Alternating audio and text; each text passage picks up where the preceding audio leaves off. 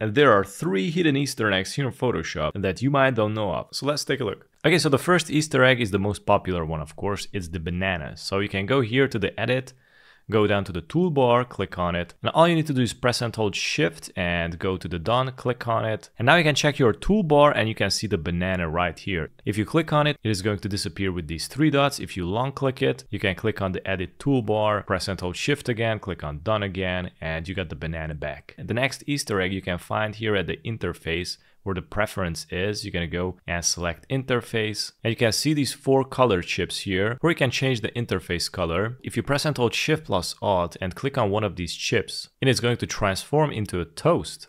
Look at that. Press and hold Shift plus Alt again, it is gonna go back again. Let's go back to the toast. And if you press and hold Shift plus Control, it is going to switch to coffee. Actually, I like this one. Now these are the two eastern eggs here in Photoshop. There's a third one, which is not working unfortunately. All you need to do is go here to the layer comp. If you don't have it, you can go to Windows and select layer comp and make sure to have a new layer here so you can create a new layer comp. Click on the plus and you type in here layer monkey zero. Click OK and it's going to switch up the thumbnail here to a monkey. But as you can see, it's not switching. I don't know why, last time it did, but after reinstalling Photoshop, it's not working anymore. So mainly these would be the three Easter egg in Photoshop. Thanks for watching.